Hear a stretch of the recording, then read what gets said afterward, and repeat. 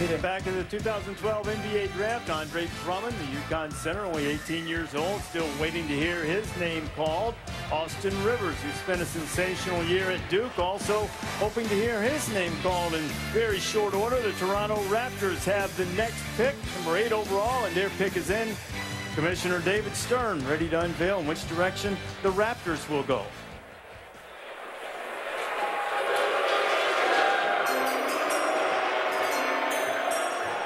With the eighth pick in the 2012 NBA draft, the Toronto Raptors select Terrence Ross from the University of Washington.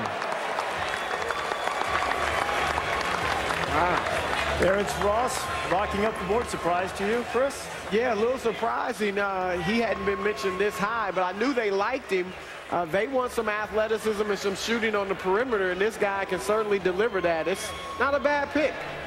They had the third lowest scoring average in the NBA last year, fewer than 91 points per game. They're going to get Jonas Valanciunas, they think, from Lithuania this year. It was a top five pick a year ago. And Terrence Ross out of UW. Terrence Ross is an outstanding shooter.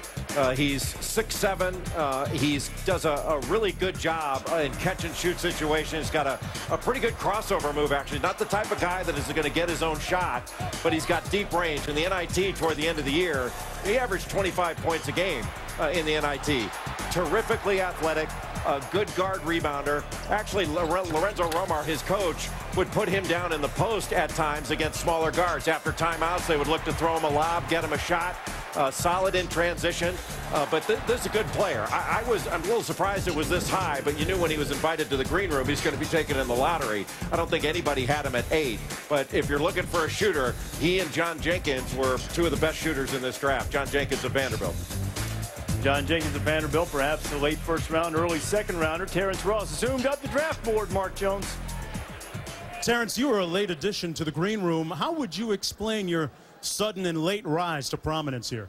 I mean, first off, I want to thank God because without him, I wouldn't be here. But uh, it's just a blessing. I mean, I can't even describe what I'm feeling right now. It feels surreal. Toronto, number eight, takes you. What was it about your workout for them you think impressed them? I think just all around game. I got to the basket, shot the ball well, and my defensive intensity, you know, it kind of stand out more than anything else. All right, Terrence. Good luck. Guys, they say that uh, guys he worked out against say he was one of the more athletic players in the draft class. Back to you. Rocking that bow tie, too. The Raptors missed the playoffs for the fourth straight year, 20 games under 500. When you look at this roster, what, what's your reaction the additions of Ross now? Well, the big kid coming from Lithuania, to me, if he's as good as they say and he can move Bargnani to the four, then they have a chance to start moving up the ladder. They obviously need a starter at the small forward position. They need Calderon to bounce back and play like he's capable. And then DeMar DeRozan quietly has carved out a nice start to his NBA career. He averaged about 17 points per game. What do you think of the pick? You were surprised well, look, by the pick, but there. Well, just because, like Jay said, it was so high, but I like him as a player, and I think I like him actually as a fit.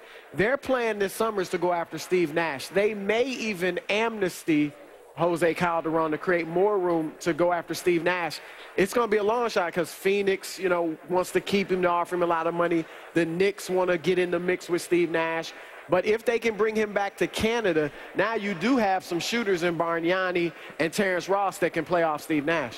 Uh, Toronto's been a team that in five of the last nine drafts, they've had some international flavor. Not a lot of international flavor in this draft, Fran Fraschilla, but if Valanciunas, as Jeff Van Gundy just mentioned, is the real deal, it's almost like getting an influx of, of two, well, it is two lottery picks that they'll have uh, next year if he comes over. You're right, Rece. The Raptors practiced delayed gratification a year ago because Valanciunas stayed in Europe, played at a high level, and played well. The thing you like about this kid at seven feet tall, he's got a nasty streak. And if you want to ask anybody about him, ask Jeremy Lamb here of UConn and Doug McDermott of Creighton because he torched Team USA in the Under-19 World Championships. They're going to like this young group of guys they're building and they certainly need an anchor in the middle like Jonas Valanciunas.